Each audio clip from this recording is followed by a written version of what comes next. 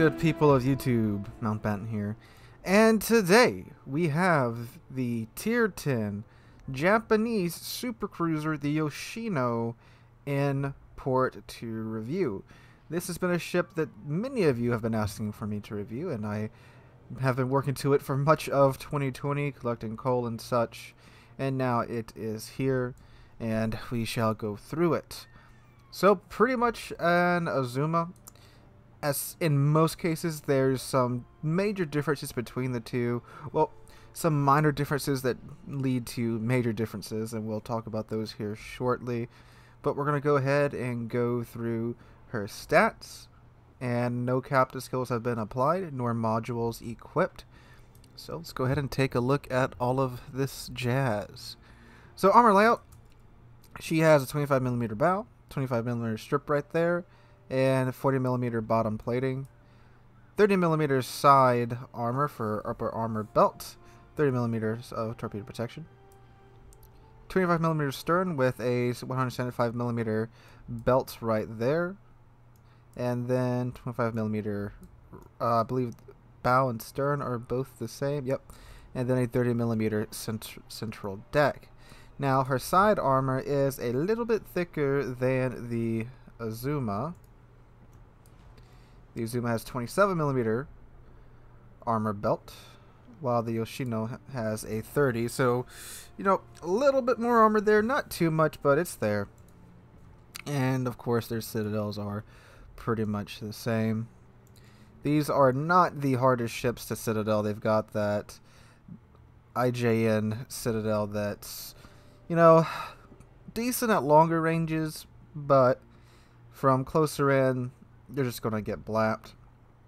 So she has 178 millimeter belt on her Citadel, the Azuma. What does she have? Is it the same? Pretty sure it's the same. Yeah, it's pretty much the same as the Azuma in those in those regards.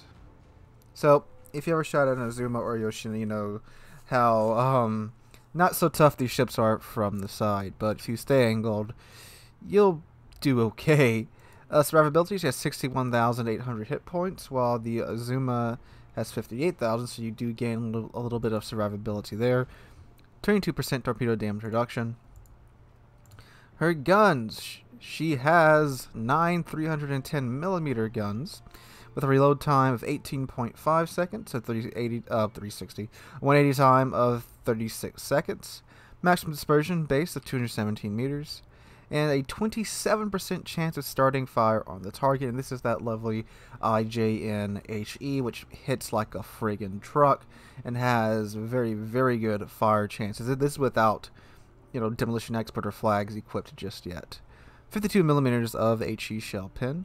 Her AP shell has a maximum damage of maximum damage of 8,650. Now, the Yoshino does have improved pin angles compared to the Azuma. If you try to use the, A the AP and the Azuma, you pretty much had to catch a ship almost completely flat broadside.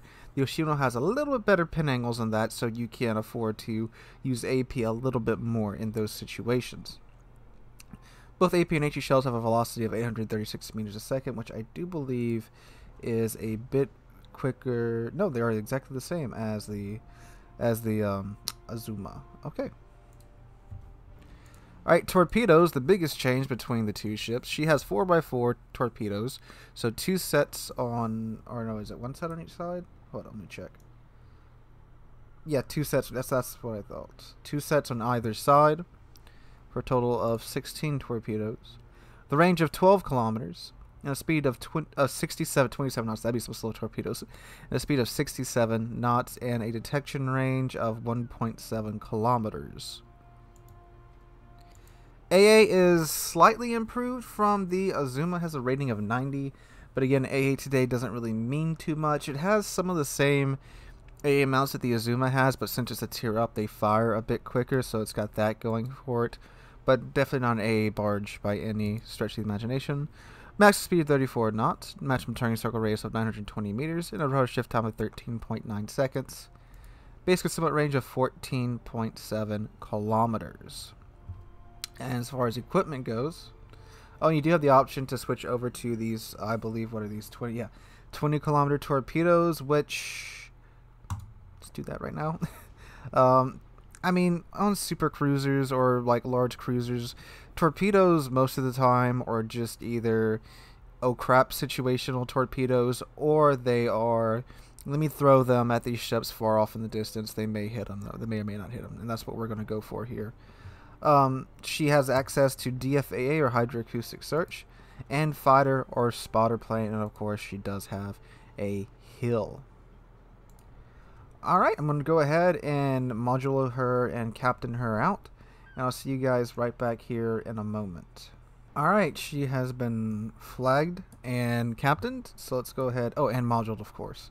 So, um, as far as modules go, I went with the main battery build, of course. So, main armaments mod 1, damage con 1, aiming systems mod 1, damage con 2, concealment, and gunfire control system mod 2. Now, I did consider putting um, the what's it called? Main battery mod 3. Yeah, on here. But, I mean, with an 18 second reload, that's already pretty low. And the additional range, I do believe, will fit the Yoshino's playstyle a bit better. As far as consumables go, I'm going to stick with uh, DFAA and Fighter for now. I imagine with playing Azuma like Azuma, you'll be toward the back of the pack, and you know you don't want CVs to just have their way with you. You want to be able to put up some type of fight. And of course, I did, as I show, showed earlier, equip the Type 93 torpedoes. Alright, as far as the commander build, this is my Azuma commander. So we've got Priority Target, MLG Turrets, Adrenaline Rush, Superintendent, Demolition Expert, Concealment, and Fire Prevention.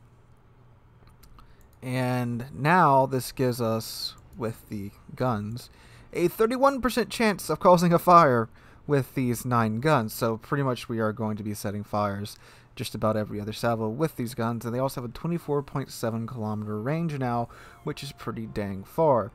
And the maximum dispersion is 232 meters, but do remember we did just push these guns out to 24.7 kilometers. That's why it appears to have gone up, but it is in all actuality gone down. Okay, so I'm going to go ahead now and... Oh yeah, her summit range is 11.9 now which is pretty darn stealthy. So, yeah. Alright. So I'm to go ahead now and jump into battle, and I will catch you guys there. Hey guys, voiceover Mount Mountbatten here. And before I start talking about the Yoshino, just this match, this match that I'm showing you guys right now is actually the first match I had in, in the Yoshino.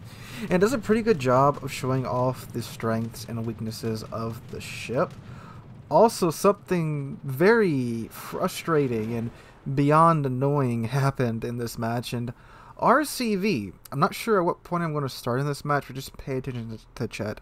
our CV, upon seeing that we had two Thunderers, a Yami, and a Yoshino on the team, decided that he, in his own words, was not going to, well, he did not support sniping.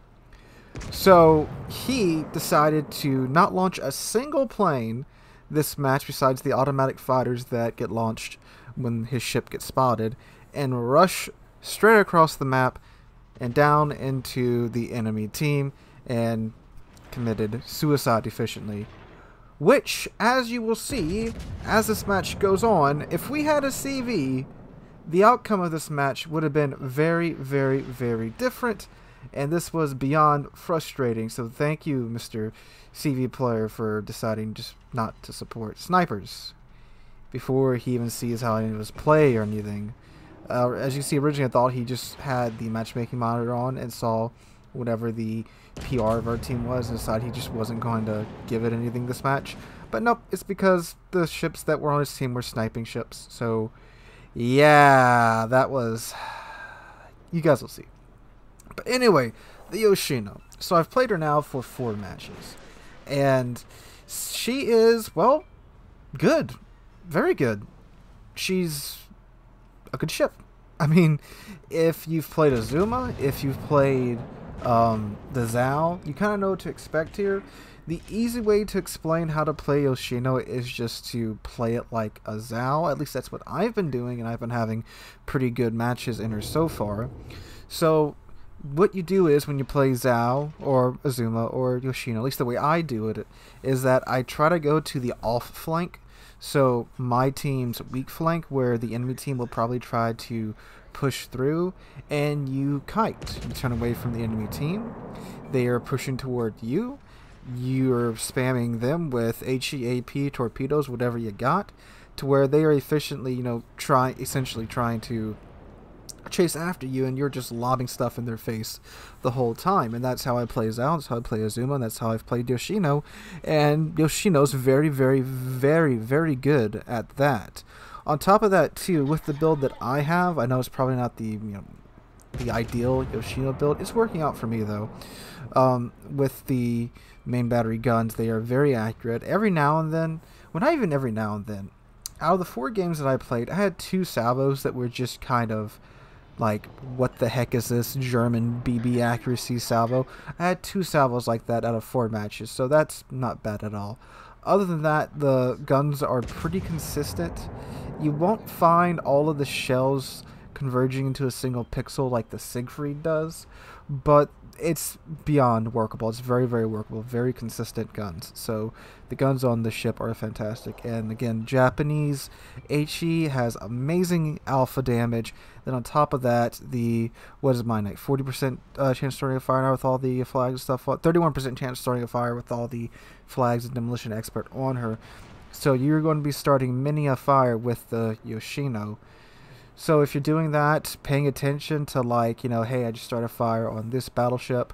Um, let me see if I can start another one. And then when he pops damage con, you know that you can easily set another fire after that damage con runs runs out, and then he's stuck with those fires on him. Fires are, boy, fires are strong with the Yoshino. So just be paying attention to that, and like when somebody pops a damage con, sling some more HE at them, and that fire is going to stick and burn for much longer. Now, the AP is very good as well. I didn't get to use it that much, but when I did get to use it, and in this match, I think I queued it up a couple of times. and may have fired one salvo of HE in this match, but I was mostly cutting for uh, during this match. But anyway, the AP, when you do get to use it, when someone does slip up and shows you broadside, the AP is very, very, very good. I got um, two matches from here. I got a London that get not London, a Goliath that got stuck on the side of an island.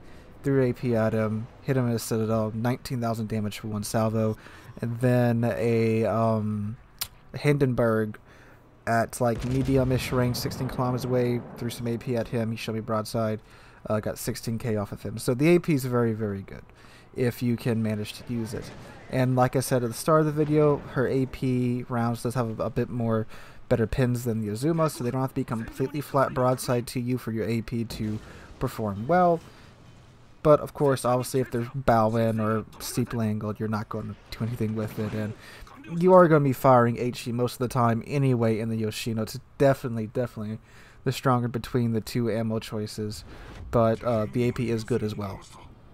Um, now, the downside, biggest downside on the ship is definitely her armor. Even though it is a bit more improved than the Azuma, it's still, it's a bit more improved than the Azuma. That's not saying much. You can try to angle and stuff, and against cruiser caliber guns, you're perfectly protected from their AP, of course. But battleship caliber guns, uh, yeah, no. You don't want to take a hit from a BB if you don't have to as that this definitely isn't a situation like the Puerto Rico or the Stalingrad, where if you angle correctly, you can mitigate most of the damage coming in. You will mitigate the damage coming in, but it won't be most of it, and you'll still take pretty big hits from battleships. Uh, your best course of action there is to stay at longer ranges. Typically against battleships, you want to stay somewhere around 18, 19-ish kilometers away if you can help it. That way you have plenty of time to maneuver at, at their shots that are coming in. Also play with your throttle and with your rudder, you know, speed up a little bit, slow down, go in reverse for a second, throw them off a little bit. Yoshino isn't the quickest responding cruise, uh, cruiser, but doing that will still throw off a lot of battleship's shots unless they are just a good battleship player and can kind of call your throttle juke pattern. Um, but most of the times it'll help you for sure um, dodge a lot of shots. You'd be surprised at how much just traveling at one quarter speed at range really throws off shots. It's amazing. Um, the torpedoes, I did choose the 20 kilometer torpedoes, like I said at the start of the video, and Nah, I mean, they performed about how I expected them to. I just threw them at a channel where I thought some ships were going. I did manage to land a couple of shots. Not, I mean, I think it was literally like two in four matches, which, yeah, you, you know, go figure. Um, and it was uh, a Yami. He was hopping from one island to the other. I'm like, oh, he's probably going to go to, you know, this island to his south next. I just threw all four sets down that channel, and sure enough, got a couple of hits on them. Um, it's also good to just you know kind of throw into a cap that you're maybe trying to defend from far off because you know you you'll be surprised how many players just don't pay attention to like what ships have torpedoes and their ranges and all that or they don't know that information and more often than not they'll just derp into it and like eat a random torpedo that's all that yoshino's torpedoes are really good for unless of course you you wind up in an oh crap situation where a ship pops up like two kilometers away from you. Um, other than that, they're not that useful. But again, playing like Zao, going the off flank, just throw them toward the enemy ships as they're kiting toward you. Might get a couple, might not. Wouldn't depend upon them. They're not your primary source of damage in the Yoshino. Now, something I forgot to mention in the uh, port section, her secondaries are actually really good. Believe it or not. They're the same secondaries that the Shikishima gets. The only thing is here they have a 6.3 kilometer max range before, you know, adding skills on. So they're not worth building into. But there's an opportunity here for this ship to have secondaries. Good secondaries, too, mind you. But um, they, they didn't go with it. So, yeah. I mean, it's it's just weird they gave it the, the better secondaries. I find that so strange. They gave they give this ship that sits in the back of the map for most of the match good secondaries. Now, obviously, with sitting in the back of the map, if you, if you do manage to preserve your health in the Yoshino, that means when the end of the map uh, match comes around and it's time for you to push in, you'll have a pretty darn good cruiser here with most of its health intact that you can go in now and finish off those ships from closer range. Again, with the HE Alpha of the Yoshino's guns, you can slap the ever-living crap out of DDs with this. It's probably one of the best rounds to shoot DDs with besides like SAP because you can get like 10, 12k salvos on DDs with the Yoshino. I've done it with the Azuma, with the Azuma's guns. So the Yoshino's guns I know can do it just as well. So you definitely have that going for you too. And of course, farming battleships is incredibly easy with the Yoshino with how accurate these guns are. I don't snipe a lot in this game, so if you're a good sniper, you probably could perform much better than I did in the match you're watching right now, and I did pretty good in this match too. Um, and again, like with all other snipers, you definitely need spotting in the ship. And like the match you're watching right now, our CV literally refused to play. So toward the end of the game, we didn't have a lot of spotting going on, so I couldn't really shoot it too much. The ship is definitely not durable enough to do its own spotting. So that is a downside. You do need teamwork to to get things done in the ship. And if you got a team that just doesn't want to work, or if the match doesn't go on for too long, you know you'll you'll be not doing a whole lot of damage that match. But the ship definitely has the ability to easily easily surpass 100k per match. The two matches, um, two of the four matches I that I played were stomps, and they ended before I could really get to high damage numbers. They both ended around the six or five minute mark, but I was at like 70, uh, 80k damage. So those matches continue to go on easy, easy 100, 135,000 match there. But yeah, it's a solid ship, guys. As far as coal ships go, I still think obviously get the Thunder first. Thunder is leaving, so is Georgia. I would definitely get those two first. Um, but if you like super cruisers, if you like sniping, if you like the Zao, this will be a ship that I think you will enjoy. It's a solid ship. It's pretty well balanced. It has amazing guns. Amazing guns. Amazing HE. Pretty darn good AP. But it pays for that with its armor. It barely has any. We all know this. We've shot plenty of Yoshinos. You guys that played Yoshino or play Azuma you know what to expect. If you played Azuma, you're pretty much getting like Azuma 2.0 with the Yoshino, just a couple little changes here and there, little buffs here and there that make it a better Azuma. Now, something to note too is that the Azuma does get the better economy between the two. The Azuma gets that tier 9 premium economy while the Yoshino is a, a reward ship, so it doesn't really get that premium. Well, it doesn't really get, it doesn't get it at all. So economy-wise, Azuma would be the better choice. Plus, you get the boost to doing damage to tier 10 ships as well with the Azuma. So if you're looking for a pure, just like economical grinding premium ship, Azuma would technically be the better choice. But Yoshino is definitely the better ship overall.